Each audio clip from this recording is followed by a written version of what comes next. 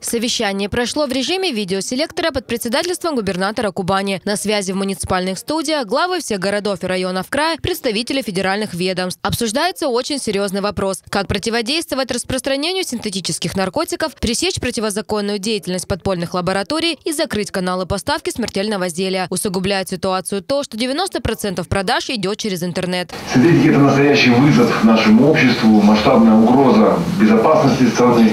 Чтобы защитить жителей края от распространения новых наркотических веществ, сегодня нам необходимо принять неотложные меры. Необходимо понять, почему вокруг спайса, вокруг употребления других видов наркотиков возникла целая молодежная субкультура. Почему это приобрело такой массовый характер? Глава региона подчеркнул, нужны новые нестандартные решения, эффективный комплекс профилактических. Кубани Николай Далуда доложил, что по предварительным данным регионального управления наркоконтроля за последние две недели произошло четыре смертельных случая в Абинском районе и два в Краснодаре. По итогам краевого совещания глава Анапа Сергей Сергеев поставил задачи перед службами города. Полиция, наркоконтроль, общественность должны сплотиться для решения этой проблемы. У нас есть своя специфика. У нас более 4 миллионов отдыхающих в курортный сезон. И люди приезжают Некоторые из них хотят получить к отдыху еще дополнительно.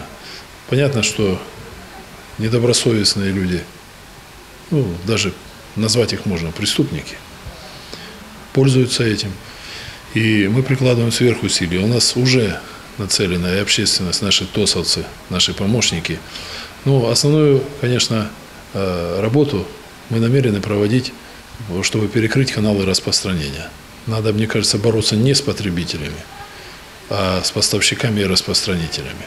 Это работа специфичная, конечно, без силовиков здесь не обойтись, но также и им, я это знаю не понаслышке, не обойтись без общественности.